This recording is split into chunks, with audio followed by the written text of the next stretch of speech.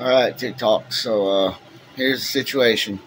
Um, as of Sunday, me and the kids are going to end up at a homeless shelter in Lima, Ohio, um, until we can figure out a place for rent. So anybody around that has any place for rent or that can help out, spare anything that can help out, or has a place for rent for myself and some my kids, um, I'd be very interested anywhere around Lima, Kenton, Bellefontaine, West Mansfield, West Liberty, Arana, anywhere that has any place for rent.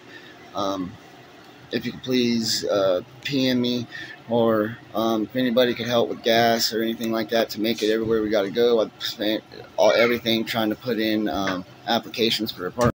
So yeah, like I'm saying, um, we have until Sunday at midnight to be out of here. We've been looking all month for a place for rent. You know, we have to be out of the Airbnb. Can't find anywhere for rent. So I'm just coming and asking um, if anybody has any place for rent. Um, I could really appreciate it.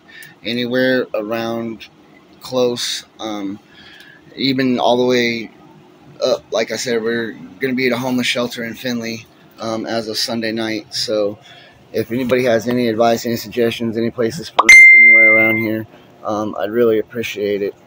Um, my Cash App and everything's in the description. Thank you. Much appreciated. Have a blessed day. Appreciate y'all.